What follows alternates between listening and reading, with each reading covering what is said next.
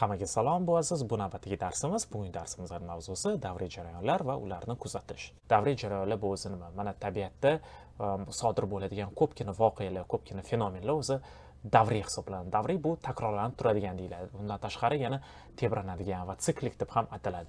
Bularga oddiy misol masalan fasllarni oladigan bo'lsa yilli fasllar ular har yili takrorlanib takrorlanib qaytib keladi. To'g'rimi cheksiz qaytib keladi. Yoki bo'lmasa oyi davrini oladigan bo'lsak oy masalan o'rtacha yigirma sakkiz kunda yigirma sakkiz yigirma to'qqiz kunda butunlay to'lib keyin butunlay yana kamayib qisqarib yo'qoladi. To'g'rimi? Mana mana shular mana mana shunaqa jarayonlar tebranadigan yoki siklik deyiladi. Davr siklik degani ma'lum bir siklda ma'lum bir davrda takrorlanib turadi degani mana masalan oddiy misol qaraydigan bo'lsak mana toshkentdagi o'rtacha yillik haroratini oladigan bo'lsak mana ushbu ma'lumotlar bizada wikipediyada berilgan ekan. Mana hozir buni biza mana bunaqa jadvalga tushiramiz.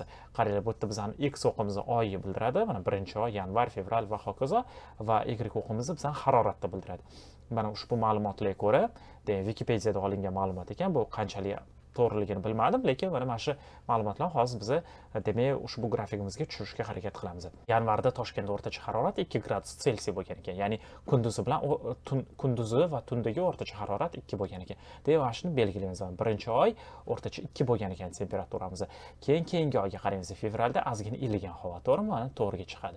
Martda to'qqiz bo'ladi. Va shunaqa qilib oshib boradi oshib boradida iyul oyida o'rtacha harorat kundalik kunlik harorat yigirma sakkiz gradus bo'lgan ekan. Mana ushbu nuqtani ham belgiladik va e, iyulga yetganimizdan keyin endi sekin e, sekin mana pasayib pasayib boramiz. E, iyul avgust ekan mana pasayib boramizda keyin mana dekabrda ya'ni o'n ikkinchi oyda biza mana plyus uchga kelar ekanmiz yana kamayib bordi. Keyingi yillar agar bundoq qaraydigan bo'lsak yanvarda yanvar fevral bo'ladida eng mana harorat pastga tushib ketgandan keyin yana keyin sekin ko'tarilishni boshlaydi. Agar mana mana shu hozir nuqtalarni tutashtirib chiqadigan bo'lsak bizada mana bir ajoyib e, davriy grafik hosil bo'ladi. E, Quyidagiga o'xshagan sinusoidga o'xshagan bizada grafik hosil bo'ladi. To'g'rimi mana masalan ushbu jarayon ham ya'ni kundalik harorat har oyi o'rtacha harorati ham mana shu davriy jarayon hisoblanadi. Masalan keyingi yilda chizadigan bo'lsak taxminan xuddi shunga o'xshagan grafik hosil bo'ladi. Demak shu harorat ham bu davriy jarayon hisoblanadi. Yoki masalan boshqa misol olib qaraydigan bo'lsak mana bu dunyoni boshqa shaharlarida yozda va qishda kunni qancha davom etishini ko'rsatadigan grafik bu yerda mana biz bilamiz yer yer sharini qayerda joylashganimizga qarab bizada yozimizni yozdagi kunduzini vaqti uzunroq bo'ladi yoki qisqaroq bo'ladi? Agar biz qutblarga ya'ni shimoliy yoki janubiy qutbga yaqinroq bo'ladigan bo'lsak shunchalik bizada demak kunduzi va tunni uzunligi shunchalik ekstremal bo'ladi. Masalan shimoliy norvegiyani ba'zi bir shaharlarida quyosh umuman botmaydi hamda botmaydi. Kunduzi yigirma ikki soat yigirma to'rt soatlab bo'ladi. Demak bu bizani qaysi kenglikda joylashganimizga bog'liq. Mana bir qancha shaharlar berilgan. Demak ekvatorda joylashgan shahar berilgan bo'lsa mana ekvatorda ekvatorga eng yaqin shahar bu singapur shahri. To'g'rimi mana qizil e, demak qizil grafikda bizada singapur shahri berilgan ekan. Singapur singapur berilgan ekanda mana shu qizil grafikda bizada har oyda mana bir yilda ichida bir yil ichidagi har oyda o'rtacha kunduzi kunduzgi vaqt qancha davom etishi berilgan. Mana dekabrni oladigan bo'lsak dekabr taxminan o'n ikki soat davom etar ekan kunduzi. Mana masalan agar ikkinchi oyga qaraydigan bo'lsak u ham o'n ikki soat ekan. Keyin mana shunaqa davom etamiz. Mayga qaraydigan bo'lsak mana bu may oyi to'g'rimi? May oyida demak haligacha o'n ikki soat davom etar ekan kunduzimiz. Va xuddi shunaqa ekvatorda bo'lgani uchun kunduz bilan tunni uzunligi deyarli bir xil bo'ladi. Mana endi ozgina shimolga yuramizda demak o'ninchi daraja shimoliy kenglikda joylashgan shaharlarimizdan bittasi bu manila filippinni poytaxti to'g'rimi? Mana bu yerda endi ozgina mana e, ozgina grafigimizni egiladi bukur shakliga kelgan bo'ladi. Bu nima degani? Bu degani dekabrda kunduzimiz sal kamroq bo'ladi necha soat taxminan? Taxminan o'n bir yarim soat davom etar ekan o'n bir yarim soat davom etadida aqshda bo'lsa yozda bo'lsa ozgina uzoqroq bo'ladi uzunroq davom etadi kunduzimiz. Ham bilmadim balki o'n ikki yarim soatmikan o'n ikki yarim soat bo'ladi. Tushunarlimi mana keyin ozgina yana o'n daraja shimoliy kenglikka yuramizda keyin o'shanda bizada e, eng katta shaharlardan bittasi taxminan yigirma daraja shimoliy kenglikda joylashgan shaharlarimizdan bittasi bu dubay to'g'rimi? Dubay oladigan bo'lsangiz ham ko'rasizlar yana e, ozgina qishda mana kunduzimizni uzunligi kamayyaptida yozda bo'lsa kunduzimizdan uzunligi oshib boryapti. Mana hozir ushbu nuqtada qanchaga teng qanchaga teng taxminan? o'n uch soatdan ko'pga teng to'g'rimi? Demak yozda kunduzimiz o'n uch soatdan ko'proq davom etar ekan. Keyin yana o'n daraja yuqoriga yuramiz shimolga yuramiz qohira misr poytaxti hosil bo'ladi.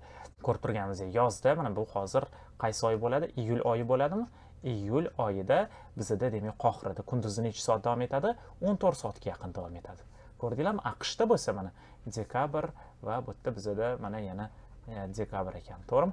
Dekabrdan dekabrgacha. Demak qishda kunduzimiz qancha davom etar ekan? o'n soat taxminan o'n soat davom etar ekan. Ko'rasizlarmi o'shanda o'n to'rt soat tun bo'ladi o'n soat kun bo'ladi. Keyin e, taxminan qirqinchi daraja shimoliy kenglikda bizani o'zimizni toshkentimizda joylashgan mana mana bu e, demak grafikka to'g'ri kelar ekan. Toshkentni demak yil davomidagi har oyda kunduzini uzunligi uzunligi miqdori. Demak yozda bizada qancha necha soat kunduzi bo'ladi o'shanda? Taxminan o'n besh soat davom etadi kunduzi to'g'rimi? Taxminan o'n besh soat davom etadi. Qishdachi qishda? Qishda kunduzimiz ancha kamaygan bo'ladi. Taxminan to'qqiz soat kunduzi bo'ladi to'g'rimi? To'qqiz soat kunduzi bo'ladi tun ko'proq bo'ladi. Va xuddi shunaqa qancha qutbga yaqinlashib yaqinlashib boradigan bo'lsak shunchalik ekstremal biza demak eng ekstremal kunduzgi vaqtlarga yetib kelamiz. Masalan parijni qaraydigan bo'lsak yoz ularda uzunroq davom etadi. Yozi ularda o'n olti soat o'n yetti soatga yaqin davom etar ekan. Qishda bo'lsa kunduzi bor yo'g'i sakkiz soat davom etadi. Va mana qutbga eng yaqin bo'lgan shaharlarimizdan bittasi bu sankt peterburg to'g'rimi oltmish daraja shimoliy kenglikda joylashgan ekan. Agar buni qaraydigan bo'lsak mana kunduzi yozda iyul oyida sankt peterburgda kunduzi taxminan yigirma soat davom etadi. Ya'ni ularda oq tunlar degan ya'ni oq tunlar degan tunlar bo'ladida bu yerda kechasi soat birda ham ikkida ham tunlar oppoq bo'lib ko'rinadi. Aqshda bo'lsa aksincha kunduzi juda yam kam davom etadi. Bor yo'g'i olti soat kunduzi bo'ladida o'n sakkiz soat qorong'i bo'ladi. Chunki nimaga? Chunki ular shimoliy qutbga ancha yaqin. Xuddi shunaqa teskarisi bo'ladi agar janubiy qutbga qarab boradigan bo'lsak. Tushunarlika mana mana shu davr mana mana shu jarayonlar ham davriy hisoblanadi. Ya'ni bular har yili takrorlanib takrorlanib boradi. Ya'ni qishda kunduzini vaqti kamayadi yozda bo'lsa kunduzini vaqti oshib boradi. Tushunarlika keyin biz bilamiz e, yilda ikki marta e, butun dunyoni shaharlarida kun va tunni demak miqdori bir xil bo'ladi kun va tunni uzunligi bir xil bo'ladi bu yigirma birinchi martda to'g'rimi yigirma birinchi martda kun va tunni uzunligi bir xil bo'ladi hamda yigirma birinchi sentyabrda to'g'rimi yigirma birinchi sentyabrda kun va tunni uzunligi bir xil bo'ladi o'n ikki soatdan bo'ladi hamma dunyodagi shaharlarda istagan kenglikka boradigan bo'lsak shimoliy kenglikka ham janubiy kenglikka istagan kenglikka boradigan bo'lsak o'n ikki soatdan davom etadi mana bu bitta misol bo'ldi bizada davriy jarayonlarga misol bo'ldi agarda biz mana shu funksiyani oladigan bo'lsakda uni grafikini chizadigan bo'lsakda mana shu funksiya grafigi ma'lum bir davrda ya'ni masalan qaysidir davrga ko'chiradigan bo'lsak ularni qiymatlari bir xil bo'ladigan bo'lsa unda bizani ushbu funksiyamiz davriy bo'ladi va uni tsi ya'ni katta harfda t belgilangan inglizchada time degani bu time da bu davr mana mana shu funksiyani davri deyiladi. Masalan bizada quyidagi funksiya berilgan bo'lsa y teng sinus ikki funksiya berilgan bo'lsa uni grafigi quyidagi ko'rinishga ega bo'ladi. Ikki bo'lgani uchun demak biz grafikini ikki ikki marta siqamiz to'g'rimi? Ya'ni buni bu har ikki pida o'zini takrorlamaydi har pida o'zini takrorlaydi. Mana mana shu grafikini agar oladigan bo'lsak mana noldan pigacha bo'lgan agar grafikni chizadigan bo'lsak demak mana shu har pi davrda ya'ni uni mana mana shu funksiyamizni davri piga teng bo'ladi. Ya'ni har pi davrida ushbu funksiya o'zini o'zi takrorlaydi. Tushunarlika demak mana shu uzunlik bizada nechaga teng ekan? Piga teng ekan. Agar mana hozir e, ushbu grafikimizni agar olib qaraydigan bo'lsak u har pida o'zini takrorlagan bo'ladi.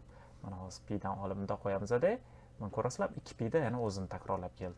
Keyin yana agar olib qo'yadigan bo'lsak xuddi shunaqa o'zini takrorlab takrorlab keladi. Ya'ni ushbu funksiyamiz har pda ya'ni bir yuz sakson gradusda qaytarilib qaytarilib qaytarilib keladi. Masalan istagan nuqta oladigan bo'lsak ushbu grafikimizda deylik mana mana bu nuqtani oladigan bo'lsakda agar mana mana shu nuqtani demak mana x koordinatada oldikda mana mana shunga x ga pi qo'shadigan bo'lsak ushbu nuqtamiz yana xuddi o'sha joyga kelib joylashadi. Tushunarlika mana bu yerda demak bizada x plyus pi koordinati bo'ladi. Mana pi qo'shdik to'g'rimi? Agar yana pi olib qo'shadigan bo'lsa yana xuddi o'sha joyga kelib joylashamiz. Ko'rdinglarmi shu istagan nuqta uchun mana eng yuqori nuqtasi ham agar oladigan bo'lsak orasidagi farqi p ga teng. Orasidagi farqi p ga teng. Tushunarlika o'shaning uchun ushbu funksiyamizni davri e, p ga teng ekan. Demak agar bizada mana shunaqa tebranadigan ya'ni siklik funksiyalar berilgan bo'lsa ularni maksimum va minimum qiymatlari hosil bo'ladi. Maksimum qiymati bu eng katta qiymati minimum bu eng kichik qiymati deyiladi. Agar sinus ikki x funksiyasini oladigan bo'lsak biz bilamiz sinusimiz minus birdan birgacha bo'ladi. Demak eng katta qiymati o'shanda birga teng bo'ladi eng kichik qiymati bo'lsa minus birga teng bo'ladi to'g'rimi? Agar uni oshirmoqchi bo'lsak unda masalan ma'lum bir songa ko'paytirishimiz kerak. Masalan agar to'rt soniga ko'paytiradigan bo'lsak ushbu funksiyamiz unda demak eng katta qiymati to'rtga teng bo'ladi eng kichik qiymati minus to'rtga teng bo'ladi. Ya'ni mana shu funksiyamizni biz olib cho'zgan bo'lamiz cho'zgan bo'lamiz va uni amplitudasi demak o'shancha qiymatga teng bo'ladi. Demak ko'rib turganimizdek bu amplituda deyiladi ya'ni o'rta o'qidan ya'ni mana shu funksiyamizdan o'rtasida agar bundoq grafikaga olib qaraydigan bo'lsak grafikani gorizontal o'q bo'ylab teng ikkiga bo'ladigan o'qdan eng katta qiymatigacha bo'lgan masofa uni amplitudasi deyiladi. Ko'rib turganimizdek mana o'rtasi nolga joylashgan to'g'rimi? Y teng nolga joylashgan eng katta qiymatimiz bo'lsa y teng birda demak amplitudasi birga teng bo'ladi. Yoki bo'lmasam e, noldan eng kichik qiymatigacha bo'lgan masofa qancha? U ham birga teng to'g'rimi? Demak amplitudasi birga teng bo'ladi. Mana o'rta kesib o'tadigan o'qi bosh o'q deyiladi. Buni yana biz qanaqa qilib topamiz? Buni topish uchun maksimum va E, maksimum va minimum qiymatlarini qo'shib ularni ikkiga bo'lsak bo'ladi. Ushbu misolimizda bizada demak maksimum qiymat nechaga teng? Birga teng. Keyin eng kichkina minimum qiymati nechaga teng? Minus birga teng. To'g'rimi? Mana shularni olib ikkiga bo'ladigan bo'lsak suratda nol bo'ladi. Nol taqsim ikki nolga teng. Demak y teng nolda. Mana shu o'rtaga chizilgan o'q bizani bosh o'qimiz deyiladi. Ushbu davriy funksiya uchun. Tushunarlimi bunga yana bitta oddiy misol kelib quyidagi misolni e, misol keltirsak bo'ladi. Masalan devor rozetkasini agar oladigan bo'lsak unda tok tok bor. To'g'rimi? O'sha kuchlanish e, qanaqa kuchlar nechiga teng bo'ladi? Biz bilamiz devordagi masalan xonadonlardagi e, demak elektr toki bu o'zgaruvchan tok deyiladi. O'zi ikki xil tokimiz bo'ladi. Ya'ni doimiy tok va o'zgaruvchan tok bo'ladi bizda. To'g'rimi? Dc current dc degani direct current degani doimiy tok va ac degani alternating tok alternating current. Degani bu demak o'zgaruvchan tok deyiladi to'g'rimi o'zgaruvchan tok.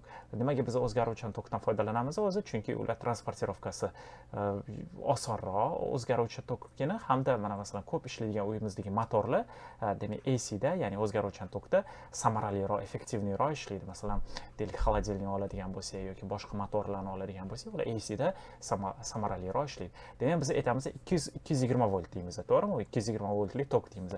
O'zi aslida agar e, multimetr voltmetr olib o'lchaydigan bo'lsak ozgina bu yuqoriroq bo'ladi. Hozir ikki yuz qirqlarga yaqin keladi. Bu nima degani? Bu degani demak biza ikki yuz qirq plyus ikki yuz qirq voltdan minus ikki yuz qirq voltgacha bizani mana shu devorimizdagi rozetkamizdagi kuchlanish mana shunaqa tebranib turadi. Qaysidir vaqt qaysidir payt ikki yuz qirq voltga yetadida keyin pasayib pasayib qaysidir vaqt minus ikki yuz yigirma voltga yetadi. Mana shunaqa qilib tebranib tebranib takrorlanib turadi. Mana mana shu tebranish davri nechiga teng? Bir taqsim oltmish sekundga teng. Bir taqsim oltmish sekundga teng. Bu nima degani? Bu degani mana shu devordagi rozetkamizni bir sekundda bir sekundda oltmish marta tebranadi degani. Oltmish marta tebranadi. Oltmish marta tebranadi ya'ni chastotasi oltmish gerts deyiladi. Tushunarligi bir sekundda u demak oltmish marta tebranib chiqadi. Oltmish marta 240 ga chiqadi oltmish marta minus 240 ga chiqadi. Mana shunaqa qilib e, demak bizani uyimizga elektr toki yetib keladi. E, masalan ikkinchi mana grafikka qaraydigan bo'lsak mana ikkinchi grafikimizda quyidagiga teng. Demak bu xuddi boyagiga o'xshagan mana birinchi funksiyamizni grafigiga o'xshagan mana qizil deb berilgan bu ikki yuz qirq voltga chiqadi to'g'rimi sariq deb berilganimizda bo'lsa bir yuz yigirma voltga chiqadi. O'zi masalan demak amerika qo'shma shtatlarida ikki yuz yigirma volt o'rniga bir yuz yigirma voltdan foydalanishadi. Ya'ni ushbu demak amerikadagi elektr tokini amplitudasi bir yuz yigirma voltga teng ekan. Biz o'zbekistonda yevropada rossiyada masalan demak devordagi rozetkani amplitudasi o'shanda nechiga teng bo'ladi? Ikki yuz qirq voltga teng bo'ladi. Tushunarlika mana shunaqa qilib amplitudasini qaraymiz ularni davrlari bir xil bo'ladi. Ya'ni bir taqsim oltmish sekundda taxminan nechi bo'ladi o'shanda? O'n olti millisekund bo'ladimi? Ya'ni o'n olti millisekundda u demak e, ushbu funksiyamiz ya'ni elektr tokimiz ikki yuz yigirmada turgan bo'lsa ikki yuz minus ikki yuz yigirmaga tushadida keyin ikki yuz yigirmaga chiqadi. Ya'ni davri pikdan pikka chiqish davri maksimum qiymatdan maksimum qiymatgacha yetish davri demak bir taqsim oltmish sekundga teng ekan. Tushunarliga e'tiboringlar uchun rahmat. Keyingi darsda ko'rishguncha xayr.